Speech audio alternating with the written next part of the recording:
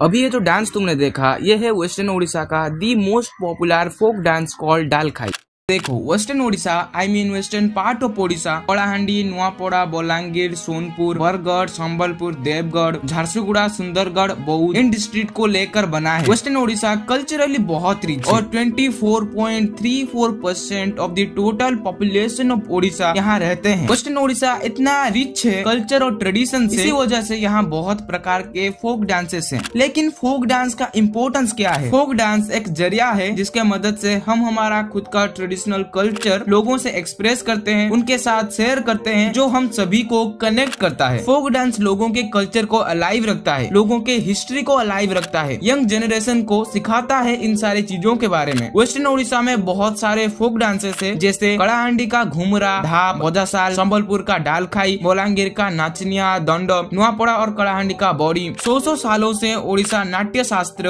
और भरत मुनि का ट्रेडिशनल ग्राउंड है। और आज हम बात करने वाले हैं डालखाई के बारे बारे में। लेकिन डाल खाई का मतलब क्या है? कौन सेलिब्रेट करता है? क्यों करते हैं? थांबा थांबा मोटा भाई थाम्बा डाल खाई वेस्टर्न ओडिशा का मोस्ट पॉपुलर फोक डांस है जो भाई जीता के दिन परफॉर्म किया जाता है। Dalkhai folk dance linked है एग्रेरियन कल्चर ऑफ़ सोसाइटी से। Dalkhai is said to be the goddess of fertility जिसका लिटरल मीनिंग है उर्वरता की देवी। बेसिकली डालखाई एक ग्रुप डांस है, एक सॉन्ग के साथ विच अडोर गॉडेस डालखाई देवी। डालखाई देवी एक फ़िज़िकल मैनिफेस्टेशन है माँ दुर्गा की। देवी दुर्गा के रूप में एक पेड़ की शाखा को अनमेरिड गर्ल्स पूजा करते हैं सप्तमी और दशहरा के बीच उनके भाइयों के लंबी उम्र के लिए। यह है डालखाई सॉन्ग के लिरिक्स और उनके मीनिंग तुम पढ़ सकते हो। डालखाई बहुत फ़ेमस है, लोगों के बीच लोगों को बहुत पसंद है। और अगर तुमको ये वीडियो पसंद आया हो तो इस चैनल को सब्सक्राइब कर दो, वीडियो को लाइक कर दो, वीडियो को शेयर करो हर किसी के साथ और thank you so much for watching this video मैं मिलता हूँ तुमसे नेक्स्ट वीडियो में. बाय